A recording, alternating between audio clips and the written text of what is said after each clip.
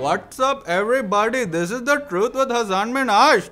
Are you offended by me doing that? You should be. Now, if you don't know why I'm doing that, it's because two days ago, Ashton Kutcher decided to do a Pop Chips commercial, and it was extremely offensive. Check it out. I'm Raj. I'm a Bollywood producer. I'm looking for the most delicious thing on the planet. Number one, white dude in brown face. Why? Number two, not even funny. Even the Metro PCS guys are like, Holy shish kebab! just listen to his accent. I like Snooki and JWoww. wow. I want to taste the sweetness on my lips. No Indian people talk like that. We don't talk like we don't sound like that. If you're gonna do an impersonation, do it correctly. Number three, the references don't even make sense. I did this film that uh, very similar to milk. We called it Kool-Aid. You have a shitty accent, and you're not even being racist correctly.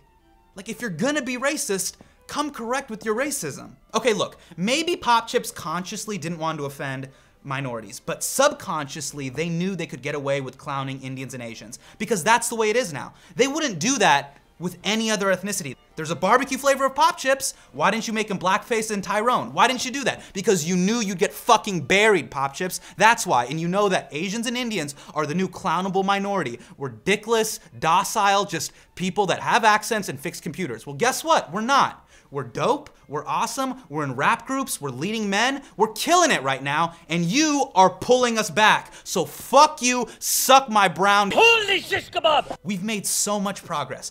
We're starting to see minorities succeed in a variety of different facets and avenues, and we're seeing the minority experience in America be a nuanced thing. And this is fucking that up. You're closing us in a little box, and you're making all Indian people look like the Metro PCS guys. Vegas, baby.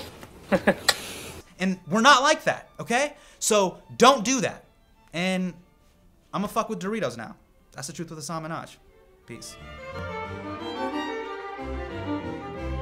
Woo! When you were saying when you were saying fuck you, Uh-huh. I think it was a little bit much. Yeah, it was probably it was much. I was getting too ramped up.